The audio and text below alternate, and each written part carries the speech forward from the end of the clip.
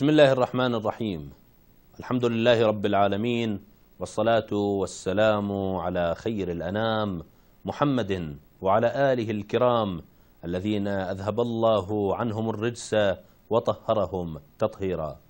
فبهم نهتدي وبهم نقتدي وبنورهم ننتقل من ظلمات الجهل إلى أنوار العلم. هي الأخلاق تنبت كالنبات هي الأخلاق. تنبت كالنبات إذا سقيت بماء المكرمات. وأن لها الأخلاق أن تسقى بماء المكرمات. وأن تسقى بماء يصلها من دون ما يوجهها ويرشدها إلى المكارم وإلى الكمال. ولا بد من معرفة شتى أبواب الأحكام بل أكثر من ذلك يجب أن نعرف أدق التفاصيل وأدق الجزئيات من الفتاوى الشرعية. ولذلك فإننا قد قمنا بإعداد هذا البرنامج مع ضيفنا العزيز سماحة الشيخ عبد الكريم الحائري. كل ذلك لنعرف الأحكام. ابقوا معنا وتابعونا. لا تذهبوا بعيدا في الجزء الأول من هذه الحلقة من برنامجكم لنعرف الأحكام. في هذه الحلقة سيتم الإجابة على الأسئلة التالية. بعض الأشخاص يطلبون مني أن أعطيهم مقدارا من المال كأن يكون مليون دينار مثلا لكي يعملوا به في السوق مع وعدهم بإعطاء شيء فوق المبلغ دون تحديد مبلغ الزيادة. وفي الوقت نفسه الذي أعطيهم المليون يكتب لي شيكا بمبلغ المليون وزيادة ثلاثين ألفا فهل تعتبر هذه المعاملة معاملة ربوية؟ هل يجوز للمالك في عقد المضاربة أن يشرط على العامل بأن تكون الخسارة على العامل؟ هل المضاربة من العقود الجائزة التي يمكن فسخها أم من العقود اللازمة التي لا يجوز فيها الفسخ؟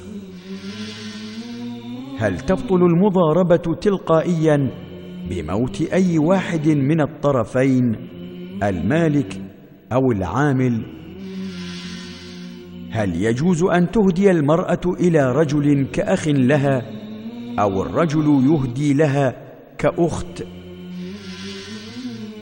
شخص اتفق مع آخر على إهداء شيء بعدها توفي الطرف الأول قبل إتمام الإهداء فجاء ورثة الطرف الأول ورفضوا الإهداء عن ذلك الشيء إلى الطرف الثاني فهل هناك إشكال على الورثة؟ يتلقى كل طفل منذ ولادته وحتى يبلغ الكثير من الهدايا ويشتري له والداه من أموالهما الخاصة بعض الملابس والأثاث واللعب. لكن عندما يكبر لا تناسبه هذه الملابس ولا الأثاث ولا يمكنه الاستفادة منها سوى أنها تذكره بطفولته ولا يوجد عندنا مكان لتخزينها وحفظها. فهل يمكن للوالدين إعطاؤها لأخيه الأصغر أو لطفل من الأقارب؟ ما حكم إهداء هدية ما للمدير بمناسبة ولادة مثلا؟ وهل يعد ذلك رشوة كما قيل أي لا يجوز إهداؤها؟ أطيب تحية مليئة بالمودة والحب والولاء لأهل بيت محمد صلى الله عليه وآله وسلم. أزفها إليكم مرة أخرى مشاهدينا الكرام. في بداية هذا اللقاء وهذه الحلقة من برنامجكم لنعرف الأحكام. كما لا يفوتني في بداية هذا اللقاء وهذه الحلقة أن أسلم وأحيي تحية طيبة ضيفنا العزيز سماحة الشيخ عبد الكريم الحائري. حياكم الله. السلام عليكم ورحمة الله وبركاته. وعليكم السلام ورحمة الله وبركاته. وحياكم الله. شكر الله سعيكم سماحة الشيخ وجعل الله هذا العمل في ميزان الحسنات وفي ميزان الرضا عند أهل البيت. صلوات الله وسلامه عليهم أجمعين. إن شاء الله. أه سؤال آخر. تحت عنوان مسائل في المضاربة نذكر مشاهدينا الكرام أننا وصلنا في الحلقة السابقة إلى هذا المكان. أه يقول السائل بعض الأشخاص يطلبون مني أن أعطيهم مبلغا من المال أه كأن يكون مليون دينار مثلا لكي يعملوا به في السوق مع وعدهم بإعطاء شيء فوق هذا المبلغ. ودون تحديد للنسبة وللزيادة وفي الوقت نفسه الذي أعطيهم هذا المليون من باب الضمان يكتبون لي شيكا بهذا المبلغ ويضيفون على هذا المبلغ ثلاثين ألفا. فهل تعتبر هذه المعاملة معاملة ربوية أم لا تعتبر ربوية؟ بسم الله الرحمن الرحيم. لعله يفهم مما سبق في إعطاء الملاك والقاعدة في المضاربة أنه لا بد أن يكون الرب أن يكون العطاء النسبة يعني اللي يعطيها لصاحب المال من الربح لا من أصل المال. وأن النسبة تكون نسبة بالنسبة إلى الربح لا بالنسبة إلى المال. ما يقول أنا أعطيك 30% من المال أعطيك 30% من الربح مثلا. نعم. فإذا أعطاه طلب منه مبلغ ودفعه إليه بعنوان المضاربة وانصرف هناك السوق إلى مقدار معين فتصح المضاربة ويلزم بالمقدار المعين. نعم. أما إذا طلب من عنده قال له أعطيني هذا المال دين أشتغل به فإذا أعطاه هذا المال بعنوان الدين لا يجوز له أن يأخذ الزيادة. نعم. الزيادة تعد ربوية غير جائزة. إلا إذا تبرع بها العامل اللي يشتغل اللي دا يطلع ربح تبرع بهذا يعني المبلغ. أعطاه هذا الثلاثين بعنوان هدية. هدية جائزة إحسان. سمي ما شئت. من دون أن يرى نفسه ملزما بذلك ولا أنه صاحب المال اشترط عليه هو من عنده يريد يعطي ما يخالف. نعم. جزاكم الله خيرا سماحة الشيخ. إلا أنه الظاهر أيضا الآن المتعارف في هذه الأمور بأن هذا الضمان يكتب لا على سبيل الهدية يكتب على سبيل الضمان وهذا يكون قط إشكال فيه يدخل في الربا المحرم. نعم. أبعدنا الله عن الحرام إن شاء الله بكل صوره وقربنا من حلاله وحببه إلى قلوبنا بمحمد وآله الطيبين الطاهرين صلوات الله عليهم أجمعين. آه السؤال الآخر يقول هل يجوز للمالك ما زلنا في عقود المضاربة يقول هل يجوز للمالك في عقد المضاربة بأن يشترط على العامل بأن تكون الخسارة عليه أم لا يكون يعني عليه ليس على المالك وإنما على العامل أم لا يجوز له ذلك؟ هناك قاعدة في الفقه تقول المؤمنون عند شروطهم. نعم. إلا إذا كان الشرط مخالف لكتاب الله تبارك وتعالى أو للسنة المطهرة الشريفة. ما دام الشرط جائزا فيكون التعامل به جائز أيضا. فيقول له أنا أعطيك المال المال من عندي العمل من عندك. بس أنت تضمن لي المال. الخسارة عليك إذا صار خسارة. أنا ما أتحمل الخسارة. اشترط عليه. المؤمنون عند شروطهم. لا بأس. لا يضر ذلك. ليس فيه إشكال إذا نعم. وبما أنه أيضا شرط عقلائي يقبل به. بلي. الإنسان أعطى مالا حتى على الأقل بأنه يضمن له. يضمن له رأس ماله. آه طيب آه عقود عندنا عقود جائزة وعندنا عقود لازمة كما نعرف ونذكر مشاهدينا الكرام. هل المضاربة من العقود الجائزة التي يمكن فسخها أم أنها من العقود اللازمة التي لا يجوز فيها الفسخ؟ لا المضاربة ليس عقدا لازما من العقود الجائزة فيجوز فيه الفسخ. نعم. ما يشترط أن يبقى عليه. يعطيه أموال يشتغل بها بعدين يقول له يا بتندمت رجع الفلوس. ما أريد. نعم. ما يخالف. ما إلى حق يلزمه يقول له أنت أعطيتني أشتغل لازم أشتغل. لا. نعم. ومن حق المالك أن يطلب ماله نعم. أن شاء ومتى نعم. أحب. يقول هل تبطل المضاربة تلقائيا بموت أي واحد من الطرفين بما أنها عقد وفيها طرفان يقول إذا مات أحد هذين الطرفين سواء كان المالك أم العامل هل تبطل هذه المضاربة بشكل أوتوماتيكي؟ نعم نعم أحد الطرفين إذا مات نعم تبطل المعاملة وترجع الأموال إلى صاحبها إذا كان موجودا وإذا مات إلى ورثته. تبطل المعاملة ما تبقى بعد. نعم. جزاكم الله خيرا سماحة الشيخ.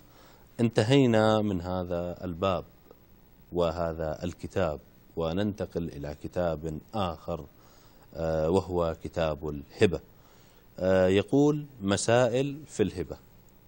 ندخل إلى هذا الموضوع ونطلب من الله أن يعاملنا بهباته وبفضله. أيضا ما زلنا دخلنا في هذا الباب باب المناسبة. نطلب من الله أن يعاملنا بهباته وبفضله الكبير ولا يعاملنا بأعمالنا التي احتفظناها على ظهورنا.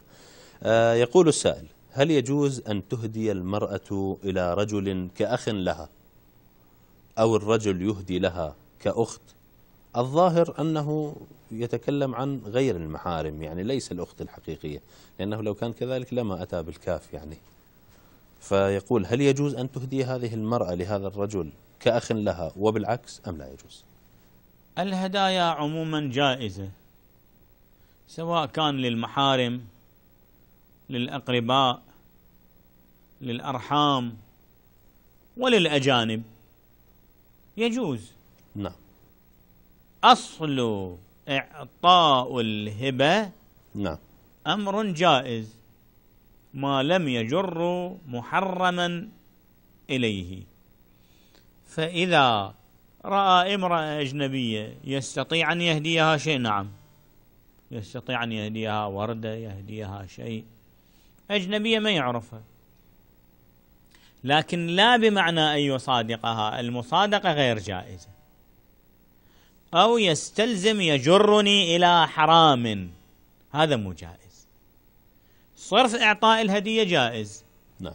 الشيء الذي لا يجوز هو أن أنجر إلى الحرام من وراء هذه وأن الهدية يكون هذا مقدمة نعم. وحقيقة تقرب إلى نعم. وإلا الهدية تهادوا تحابوا الهدية موجبة للمحبة وتكون للأقرباء والأرحام. أكثر ثوابا منها إلى الأجانب. نعم. وهنا حقيقة الآن في كون هذه المسألة مسألة ابتلائية الآن بما أن الأعمال صارت مختلطة والمحيط العمل حقيقة لنقل بأنه مختلط. الآن نجد في دولنا العربية لا نذهب بعيدا بأنه مثلا أنا أعمل في مكان وعندي موظفات تعمل معي مثلا في هذا المكان. وهذا المتعارف هذه الأعراف المتعارف كعيد عيد ميلادها أو بمناسبة مثلا مناسبة فرح لها أو عندها ولد أو كذا تعطى هذه الهدايا. لعله يمكن تصورها في مجال العمل. إلا أنه في غير ذلك ما الداعي إلى هذا الأمر. وكما أشرتم بأن الثواب في الهدية إلى القريب أكثر منه نعم. إلى البعيد. آه يقول شخص اتفق مع آخر على إهداء شيء لا لم يهدي لحد الآن إلا أنه اتفق له بأنني سأهديك شيئا. بعدها توفي الطرف الأول قبل إتمام هذا الإهداء. جاء الورثة ورثة الطرف الأول المهدي ورفضوا الإهداء عن ذلك. إلى هذا الطرف الثاني يعني رفضوا تقديم هذه الهدية إلى الطرف الثاني فهل هنالك إشكال على الورثة؟ أصلا هو الإهداء كان لم يتم فهل فيه إشكال عليهم؟ أم لا إشكال عليهم؟ هل من حقهم أن يفعلوا ذلك أم ليس من حقهم؟ ليس في ذلك شيء. وإنما أصلا لم تتم الهدية. نعم. الهدية تتم فيما إذا أخذها أعطاها للطرف المقابل وقبضها. نعم. لم يحصل قبض وإقباض هنا صرف كلام كان. فللورثة أن يمتنعوا لأن الأموال أموال والدهم كانت والآن انتقلت إليهم فالأموال أموالهم. نعم. إن شاءوا وهبوا وإن لم يشاءوا لم يهبوا كيفهم؟ نعم. مو إذن ملزمين لا إشكال بذلك. في ذلك. نعم. طيب الآن ننتقل إلى الأقارب. هذه الهدايا التي تصل إلى الطفل. كثير من الأطفال تأتيهم هدايا كثيرة وهم نعم. في سن الصغر. آه، منذ الولادة وحتى يبلغ سن الرشد لنقل بأنه سن التحكم بهذه الأموال وهذه الهدايا التي تأتيه آه، يأتي الوالدان ويشتريان له من أمواله أو من أموالهما الخاصة بعض الملابس والأثاث واللعب بما يناسب هذا العمر. لكنه عندما يكبر قطعا هذه الأمور التي اشتريت له في زمان سابق وكل هذه الأمور كانت تناسب مثلا فترة طفولته وهو الآن لا تمثل له إلا مجرد ذكرى بطفولته ولا يوجد عندنا مكان لتخزينها وحفظها. فهل يمكن للوالدين إعطاؤها لأخيه الأصغر منه أو لطفل من الأقارب أم أنه يحرم ذلك؟ يعني هل يجوز للوالدين التصرف بالحقيقة بهذه الأموال التي استخدمت وأخذها الطفل أخذ الطفل منها وطره لنقل؟ كل شيء يعطى للطفل. نعم. ويملك للطفل يدخل في ملكه. نعم. إذا دخل في ملكه لأبيه أن يتصرف في ذلك ما يعود في مصلحته. يعني يقدر يشتري له بهالأموال ملابس يقدر يشتري له بهالأموال مأكل مشرب أو ما يحتاجه. عرفا يحتاج إلى هذه عقلائيا يحتاجها الطفل. نعم. للأب أن يتصرف ما في مصلحة الطفل. أكثر من مصلحة الطفل ما إلى حق يتصرف في أموال الطفل. كأن يرمي هذه بعيدا إذا من أمواله الخاصة الأب من أمواله الأم من أموالها تشتري فلها حق أن تتصرف في هذا فيما بعد. نعم. لكن إذا من أموال الطفل لابد أن تبقى هذه. حتى أنها يراعى فيها المصلحة الطفل نفسه مصلحة الطفل نفسه تراعى.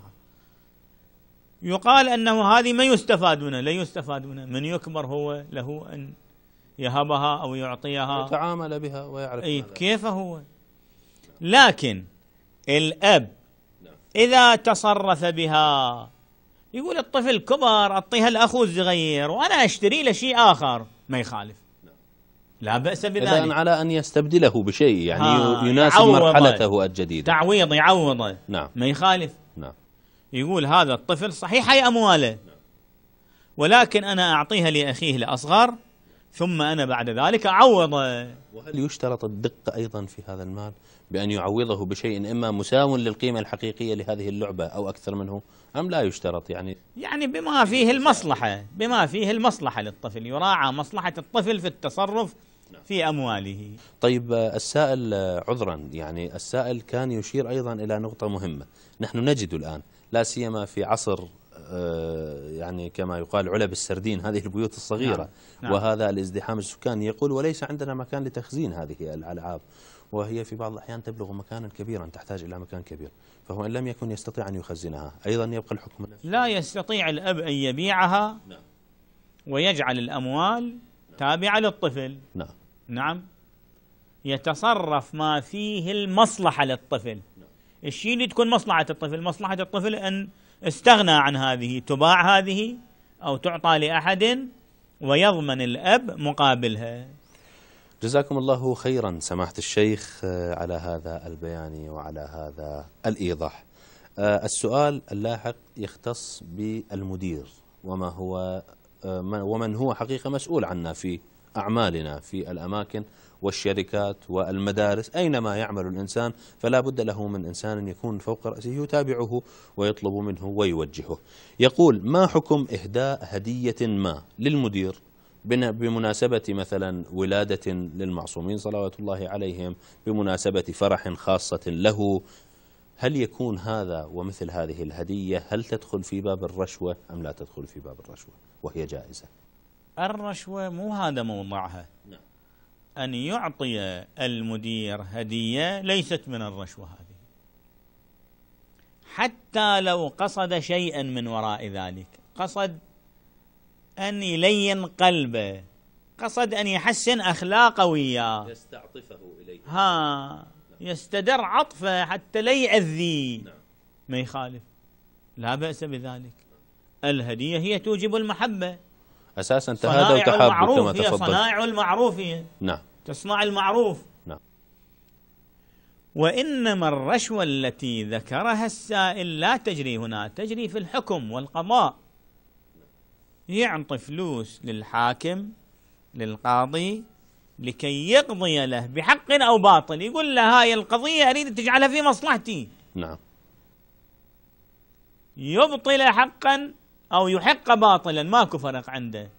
هذه الرشوة المحرمة التي ورد في بعض الروايات هي الكفر بالله. نعم.